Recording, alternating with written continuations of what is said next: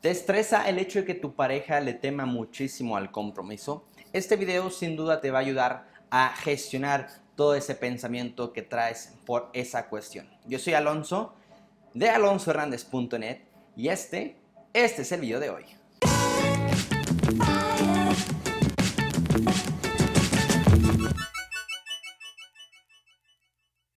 ¿Qué tal? Bienvenidos a este martes de video. El día de hoy vamos a ver un tema, pues no sé si controversial, pero es muchísimo, muy llamativo, el temor de los hombres al compromiso. ¿Existe realmente ese temor? ¿Qué es lo que lo origina? Vamos a ver únicamente las razones. No venimos a juzgar, porque a fin de cuentas no venimos a juzgar si un hombre no se quiere comprometer, no venimos a juzgar si una mujer quiere comprometerse. Lo importante en las relaciones de pareja es encontrar a alguien con lo cual nuestros planes de personales empaten, compaginen y poder eh, compartir tiempo. Si te topas con una persona que no se quiere comprometer, pues bueno, lo más, y tú quieres compromiso, lo mejor es darle vuelta a la página y no aferrarse a esa relación. Si tú no te quieres comprometer y te buscas o te encuentras con una persona que quiere compromiso, lo mejor es darle vuelta a la página y no hacerle perder el tiempo a esa persona porque muy probablemente esté esperanzada a que te comprometas. Si un hombre no se quiere comprometer es una la razón por la cual no se compromete y esa razón es porque no está seguro de la relación. ¿Qué hay detrás de que no se sienta seguro de seguir, de continuar, de formalizar, de ir al matrimonio en esa relación? Hay dos razones, bueno, dos vertientes por así decirlo. Una, las razones que tienen que ver con él únicamente y otra, las razones que tienen que ver contigo.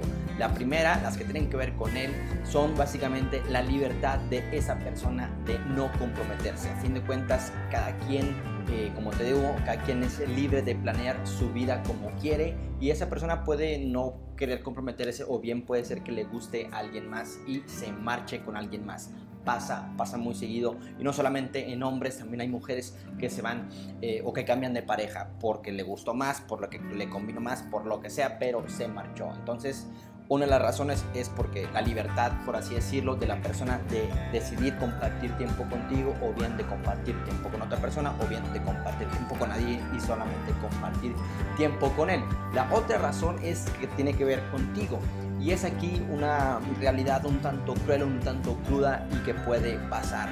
A lo mejor no te ve como un material eh, para comprometerse, no te ve como un material de esposa, no te ve como un material para una relación formal por X o por Y.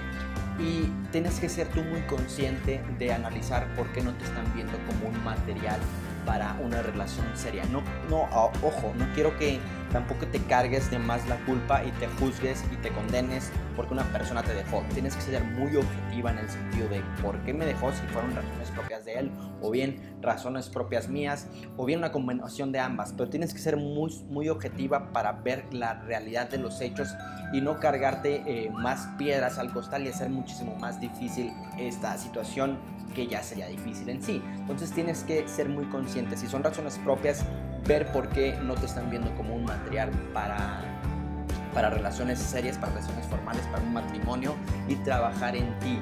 Es la única forma, es la única forma de conseguir lo que quieres. Si lo que quieres es un compromiso, está bien, pero tienes que trabajar también, ser una persona que, eh, que pues sí, que valga la pena comprometerse. Muchas veces son muy, muy buenos para pedir. Yo quiero una persona así, así, así, así, pero tú ofreces algo a esa persona, esa persona de tus sueños andaría contigo, debes ser muy consciente, es algo muy, eh, pues sí te digo, a lo mejor crudo, pero es simplemente una realidad. Así, una vez hayas trabajado en ti, es muchísimo más probable que encuentres una persona que sí se quiera comprometer, que sí te vea inclusive como material de compromiso y puedan dar ese siguiente paso que tú tanto anhelas. No tiene nada de malo anhelar compromiso, como tampoco eh, no querer ese compromiso. Si te gustó el video, te invito a que lo compartas, que etiquetes a esa persona que le puede llegar a interesar, que le puede llegar a ayudar en este preciso momento de su vida. Y bien que me des tu opinión, si te gustan los compromisos, si no te gustan, qué es lo que te gusta el compromiso, qué es lo que no te gusta. Y bueno, pues nos estamos viendo el próximo jueves eh, con un video que les va a ayudar muchísimo a, justamente aceptar cuando una persona, eh, pues sí, no, no quiere comprometerse o bien una separación de pareja, aceptar las situaciones tal cual son y a partir de ahí trabajar en nuestro crecimiento personal. Este video se los prometí la semana pasada, no lo pude subir por cuestiones personales, pero este jueves sin duda, eh, sin falta va a estar aquí en la página. Entonces nos estamos viendo el jueves, que estén muy bien. Tchau, tchau.